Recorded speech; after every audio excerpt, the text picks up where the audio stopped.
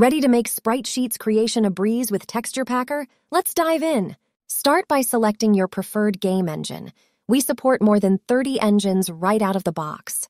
Next, simply drag and drop your sprites onto the center view. Now, it's time to bring your sprite sheet to life. Just press Publish. Don't forget to select the file name for your sprite sheet. And that's it. With TexturePacker, creating sprite sheets has never been this easy. TexturePacker, making sprite sheets simpler, faster,